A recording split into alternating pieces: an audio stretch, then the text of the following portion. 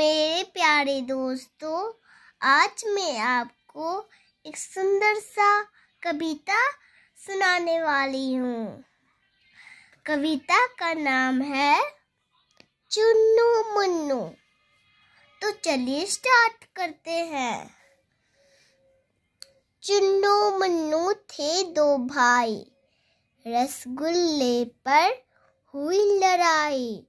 चुन्नू बोला मैं भी लूँगा। मुन्नू बोला, कभी न दूँगा। झगड़ा सुनकर मम्मी आई। दोनों को एक चपट लगाई। आधा तुम लो चुन्नू बेटा। आधा तुम लो मुन्नू बेटा।